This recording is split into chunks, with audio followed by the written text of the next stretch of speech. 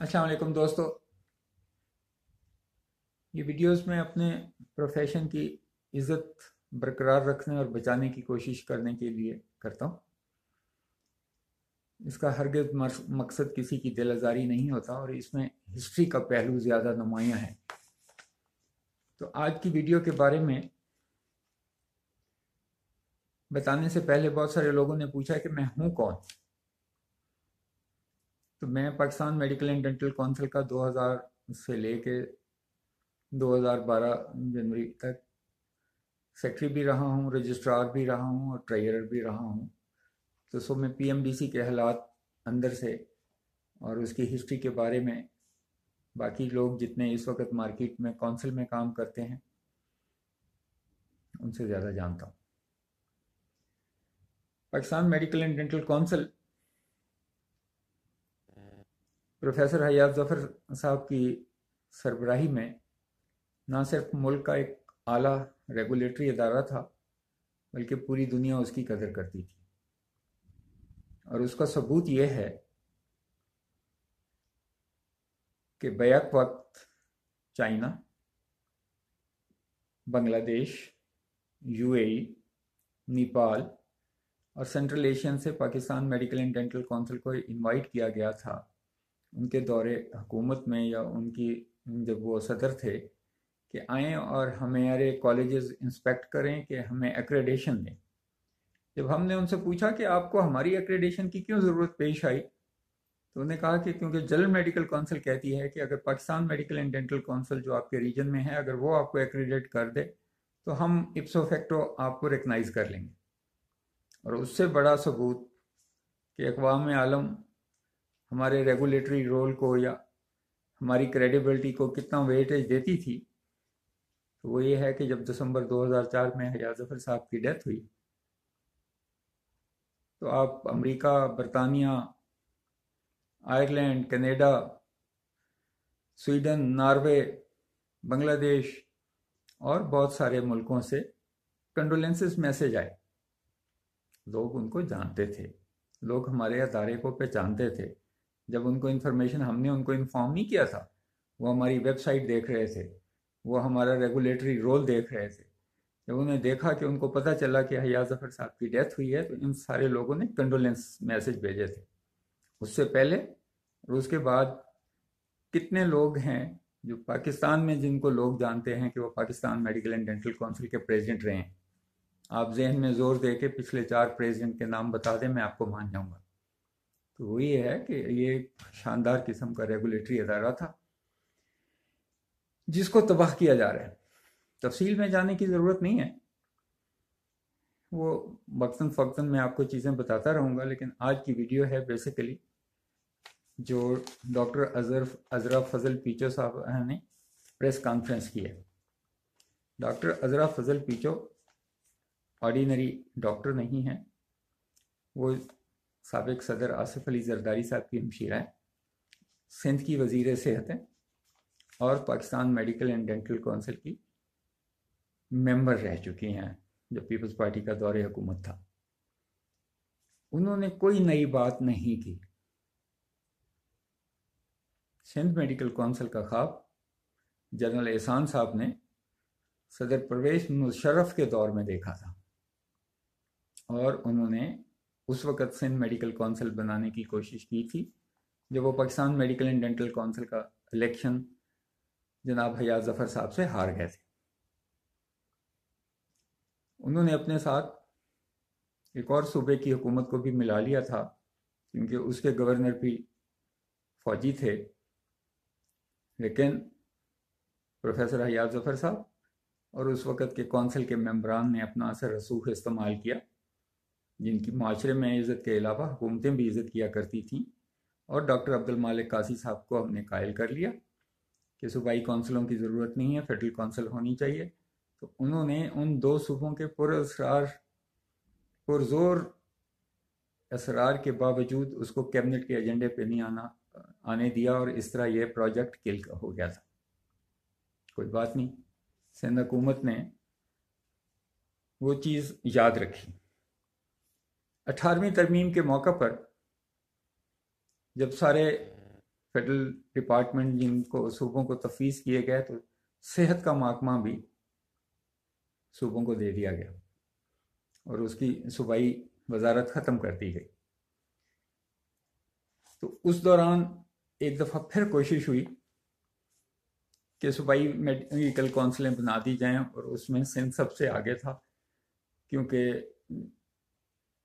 सिंध और मरकज़ में एक ही पार्टी की हुकूमत थी और वो चाहते थे कि पीएमडीसी डिसइंटीग्रेट हो जाए और सूबाई कौंसिल बन जाए। लेकिन फिर कौंसिल के मेम्बरान जिनके सियासतदानों से अच्छे तल्लक थे उन्होंने अपोजिशन के अलावा सेनेटर रज़ा रबानी और खुर्शीद शाह साहब के जो हुकूमती अरकान के पार्लियामेंट थे और एटीन अमेंडमेंट में इन्वॉल्व थे, उनको कायल किया कि ये मेडिकल काउंसिल फेडरल लेवल पर रहनी चाहिए। इसका मुल्की मफाद में ज़्यादा फ़ायदा है। और उसके दूरसन नतज होंगे। अगर आप सूबाई काउंसिलें बनाएँगे तो हमारी डॉक्टर कम्युनिटी का नुकसान होगा। हम ज़ाती फ़ायदे या ज़ाती नुकसान देखने की कोशिश करते रहेंगे और मुल्क का नुकसान हो जाएगा। तो एक दफ़ा फिर पाकिस्तान मेडिकल डेंटल काउंसिल तहलील होने से बच गई। नवाज़ शरीफ की हुकूमत में जब सूबा सिंध में पीपल्स पार्टी की हुकूमत बनी तो उन्होंने फिर एक दफ़ा हायर एजुकेशन कमीशन और Pakistan medical and dental council को टारगेट किया और अपना सूबाई हायर एजुकेशन कमीशन और सूबाई मेडिकल काउंसिल बनाने की बुनियाद रखी। उसमें वो इस हद तक तो कामयाब हुए कि उन्होंने higher education commission, Sindh higher education commission बना लिया। और इसमें सारा ज़ोर डॉक्टर आसम हुसैन का था और वो उसके मेंबर थे और चेयरमैन बने और गालबन उसी इमारत से या इजलास करते हुए या अपने दफ्तर में होते हुए उनको नैब ने गिरफ़्तार किया था।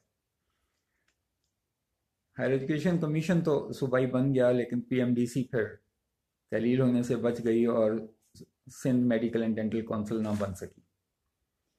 पिछले साल अक्टूबर में, पुरानी बात नहीं कर, पिछले साल अक्टूबर में सिंध हुकूमत फिर बिल आने लगी थी कि हम सूबाई मेडिकल काउंसिल बनाते हैं। सिंध मेडिकल काउंसिल होगी और उसका वजह पाकिस्तान मेडिकल कमीशन था। पाकिस्तान मेडिकल कमीशन का बिल जॉइंट पार्लियामेंट्री कमीशन से पास कराया गया। सूबों को ऑन बोर्ड नहीं लिया गया। ये मैं पहले बता चुका हूँ, ये उस दिन के एजेंडा में भी नहीं था सप्लीमेंट्री एजेंडा में भी नहीं था। अपोजिशन के बाई कार्ड के वक्त पेश किया गया। रूल्स मुतल करके और चंद मिनटों में पास करा लिया गया। तो जब सूबाई हुकूमतें और स्टेक होल्डर, जिसमें ख़ासतौर पर पाकिस्तान मेडिकल एसोसिएशन है, वाईडी है, पीमा है, पाकिस्तान डॉक्टर ऑर्गेनाइजेशन है, मेडिकल टीचर एसोसिएशन है, ये सारे लोग स्टेक होल्डर्स हैं कि ये मेडिकल प्रोफेशन की बात है। किसी को कंसल्ट नहीं किया, किसी को ऑन बोर्ड नहीं लिया गया और ये चंद मिनटों में वहाँ से पास करा दिया गया तो उनको वो दुख भी था। और जब ये एम डी कैट का इम्तहान पिछले साल इसी महीने में, अक्टूबर में ही कंट्रोवर्सी हो गई थी तो सिंध हुकूमत बिल आ रही थी, जो कि हाई कोर्ट में लोगों के रिट करने की वजह से रुक गया। और ये इम्तहान पोस्टपोन हो गया और उन्होंने फेडरल गवर्नमेंट को ही इम्तहान लेने का कहा। अब आ जाते हैं कि मैंने बार बार अपनी पिछली वीडियोस में भी बताया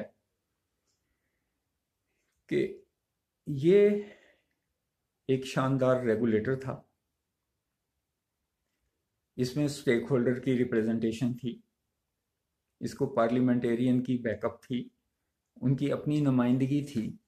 लेकिन पीएमसी बनाते वक्त मौजूदा हुकूमत ने जो कंसर्न और इश्यूज़ स्टेक होल्डर्स के थे, उनको ऑन बोर्ड नहीं लिया।